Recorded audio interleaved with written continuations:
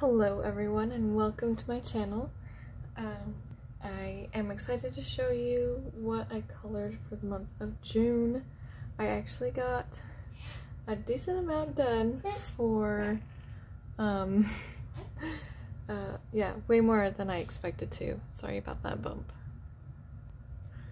So, um, most of these, actually I think all of them I based with alcohol marker and then went over the top with colored pencil. So this is the first one. Um, the artist, oh, and they're all PDFs except for a couple. Because um, it was a lot easier than trying to hold a sleeping baby and color with a coloring book. Um, but anyways, so this was alcohol marker and Prismacolor pencil um, drawn by Sherri Baldy. I thought she turned out pretty cute. Sorry, just a second. Next up is this picture that I did um, illustrated by Jeremiah Kettner. Um, he's known as Small and Round on Etsy. And this is again alcohol marker base with Prismacolor. Um, I really like the bright colors in this one and I had a lot of fun doing the background, just adding some texture um, since the uh, alcohol marker didn't go down completely smooth. It was a little splotchy. Um, so that was really fun.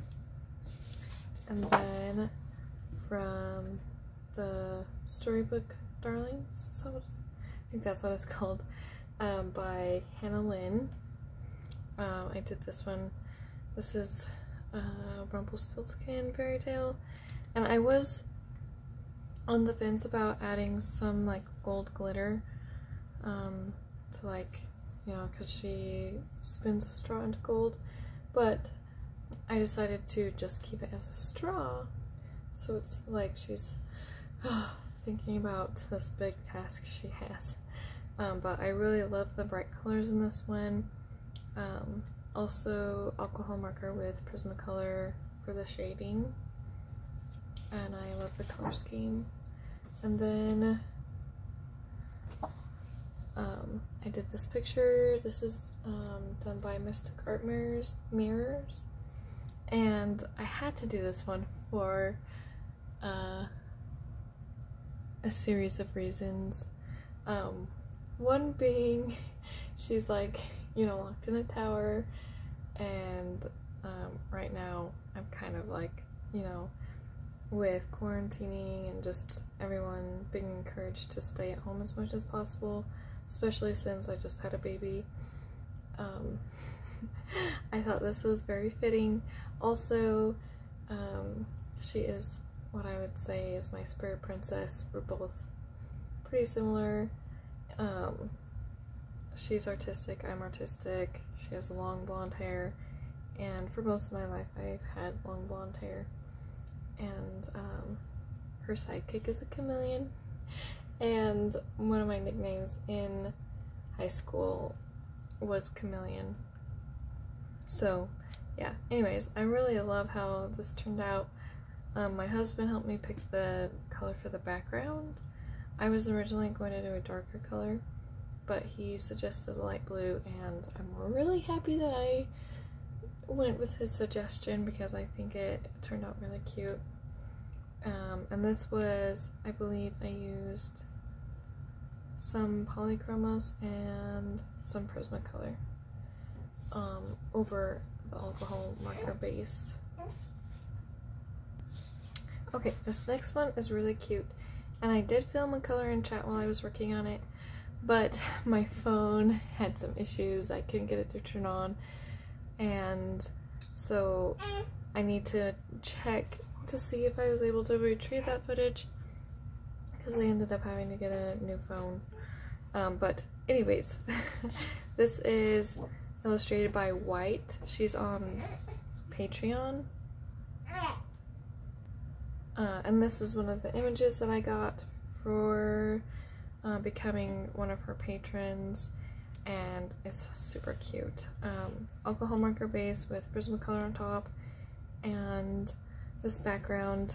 Um, So my alcohol marker started running out and so it was super splotchy. So I just added a bunch of dots um, to create some visual noise and you can't really tell that it's like really splotchy but trust me it it was awful looking. So um, this was really fun to do.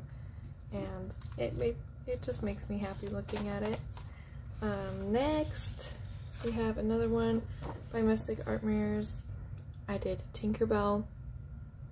Um, this is my second attempt at doing a darker skin tone and it's definitely way better than the first attempt. Um, and it was a lot of fun. I love how her hair turned out and I couldn't decide um, if I wanted to do a background because I loved these colors so much together. I didn't want to like throw off um, the visuals for it so for now it's blank but if any of you have a suggestion or if you think I should just leave it blank, let me know. Um, so that's Tinkerbell by Mystic Art Mirrors, and then um, this is uh, from one of Ikuko's Beautiful Faces books. I bought it as a PDF. Um, I love how her hair turned out. I think that, that turned out really pretty. And then the roses were super fun to do. Um, so I based everything except her face um, in alcohol markers and then did Prismacolor on top. I don't really like how her skin turned out. It kind of is like really mucky looking. And part of that has to do with grayscale, but also I made the mistake of using Prismacolor. I prefer Polychromos, how they lay down for skin tones, way better um, and probably would have worked better on the grayscale as well because the Prismacolor kind of smudged the ink a little bit. But I think she's turned, still turned out really pretty and she was a lot of fun to do. And the last PDF that I worked on was this one, um, also from Etsy. She goes by Annie's Coloring on Etsy and this was a lot of fun to do. So I originally was going to do dark blue background with like aqua green hair um, but um, I realized I've already done a mermaid with like an aqua background and aqua hair and aqua skin. So I wanted to do something different but I still wanted to have the aqua hair. And I had this idea. What if I did like a two-tone hair? Um because I thought oh it would be pretty to do maybe pink hair but I don't want it to seem too like Little Mermaid-ish. Um so I did the pink hair and then I did the aqua for like the shading and I think it turned out really fun like really cool. Um, and I definitely want to try it again with other colors. Um, and then the skin I did with Prismacolor and these fish I just like took I have a pen I just took a pink pen and did the dots on the scales excuse me oh also I do have oh let me see if I can grab it oh no my whip got stuck Oh, sorry about that big jiggle. I have a Mariola Budek whip and it is stuck to my board. Oh no, that's awful. Right, right there. But thankfully, so I based it in alcohol marker and this is how much I did on it.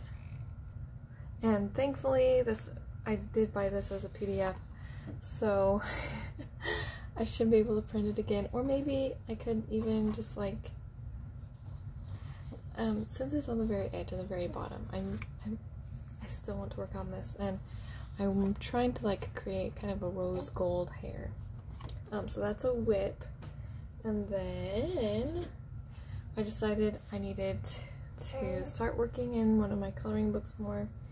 So I picked this one And for the longest time, I've been trying to decide how I want to color in it. Do I want to, um, like, do start by working on the states that I've lived in, the states that I've visited, um, or go from front to back.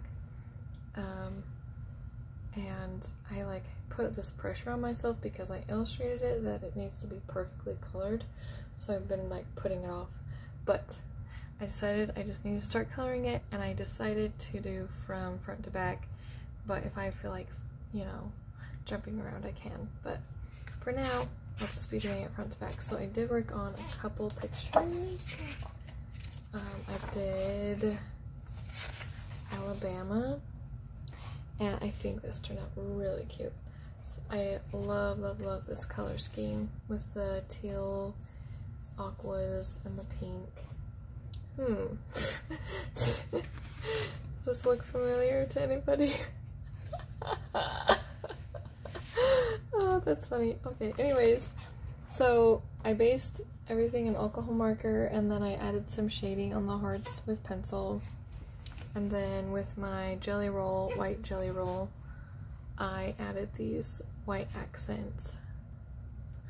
And then I did Alaska, and this um, kind of flopped a little bit. It's not my favorite color scheme, but I mean, it's still nice. But the reason it flopped is I was trying to use metallic blue gel pen Sorry, my son keeps grunting. He's like starting to wake up. Anyways, so um, I was using metallic blue gel pen and it started running out and I only could get it to go this far and could not get it to do any more. So there's a li little bit of metallic, but you can't even tell because it was dying anyways. Um, so I tried to match as closely as I could with my Prismacolors to that color. I think I did pretty okay. Um, and then I wish I would have chosen a different gray, but I think it's still fun. Um, and then this is a whip. I just based this in alcohol marker and there's some metallic gel pen um, for this like gold or darker burnt brown color and I'll add some shading. So that's where I'm at right now in this book. And um, also, I completed a diamond painting. Now, disclaimer, most of this, most of it was finished before baby was born. So I just like had a few more spaces, finishing touches. But I think it's so cute. Um, so it states it's a 50 by 50, but not even the canvas is 50 by 50.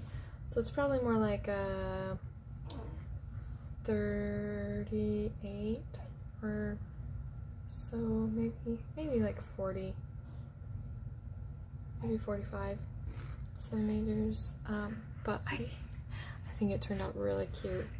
Um, and I do want to post a post review on it because there were some things like these little dots right here. Um, I just kept so I can show what it looked like in the review. If you do it exactly like what it says, I'll probably pop these off later and put in like regular hair color. Um, but this was super fun. It was around and I really love it. And I've started a couple other diamond paintings, so hopefully I can show one of those my next wrap up. Um, but anyways, I think that's everything that I colored this month. And yeah, I think my favorite picture is definitely the mermaid. Um, yeah.